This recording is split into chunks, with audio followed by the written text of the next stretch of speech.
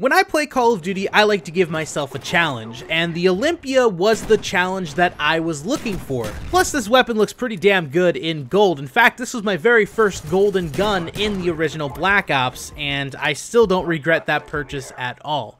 Now we're going to talk a little bit about this shotgun here today. This gameplay was for the thousands of you asking for more original Black Ops gameplay, so for those of you that are out there, if you enjoy the gameplay, do the same thing, click the like button down below. I also want to talk about the rising player counts and how surprising that is uh, with the original Xbox 360 as well as the Xbox One backwards compatibility that came for this game. So first things first, let's start with the shotgun.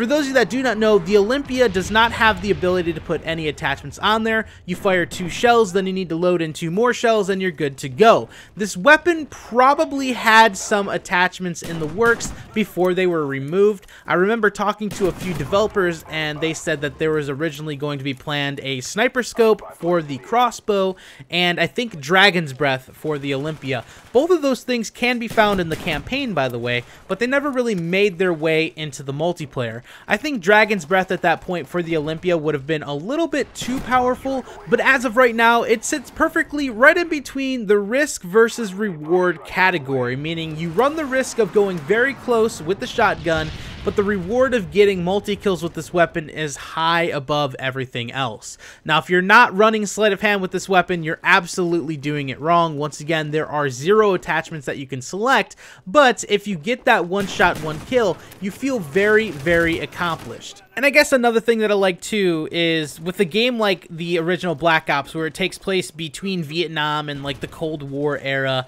and seeing an old school weapon like that and being able just to completely shred with it, it's absolutely fun to use in the multiplayer. But let's go ahead and talk about the rising player counts inside of Call of Duty Black Ops.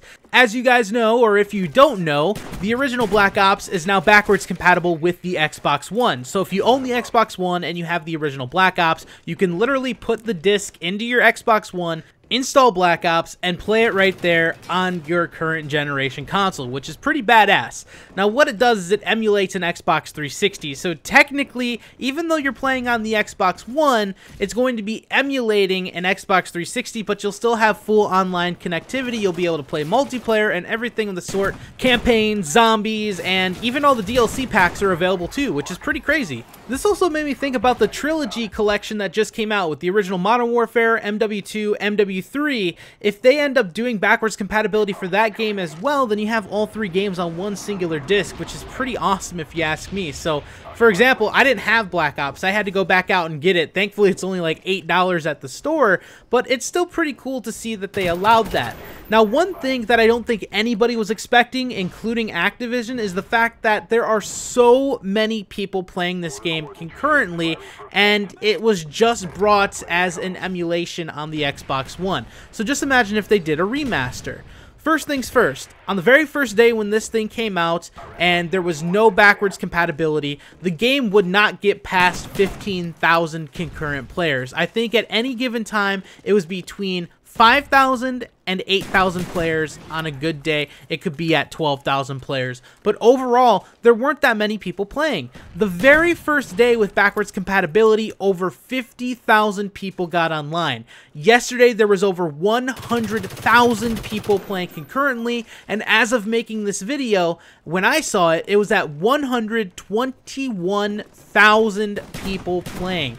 That is incredibly awesome to see that a game that's six years old does have a few issues, but mostly still runs pretty solid, can still have a thriving player base just because of backwards compatibility. Now imagine this in the form of a remaster. I, I honestly can't even imagine how many people would be getting this game. I think this just goes to show how many people truly appreciate these older games. In fact, I know that there are a few people out there that never even played this game, but since backwards compatibility came out, they were able to go to the store, get it for $8, and play online and have a good time, which is great. So the fact that we're still able to do that is awesome. I really, really hope they do some server maintenance or something like that now that we're able to play it on these consoles.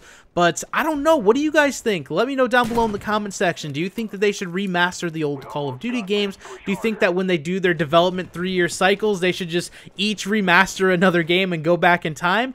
Or do you think they're going to go the more likely route, which is creating a new game and bundling a remaster with each new game? I think that would make a lot of sense, and it would give people the opportunity to try out these older games that didn't necessarily have a chance to play them when they were there in their prime, which is crazy. So I hope you guys enjoyed this video here today. If you did, make sure to click that like button down below. Do not forget to subscribe for more awesome videos coming each and every day. And until tomorrow, guys, I will see ya. Peace.